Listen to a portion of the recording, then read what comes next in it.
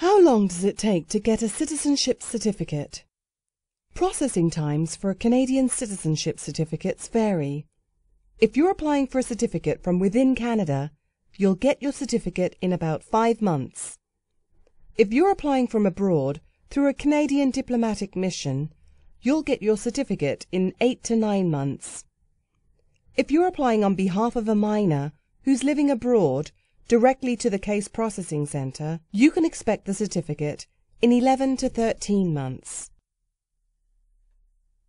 For everything you need to know about this process, click the hyperlink or call the number below this video.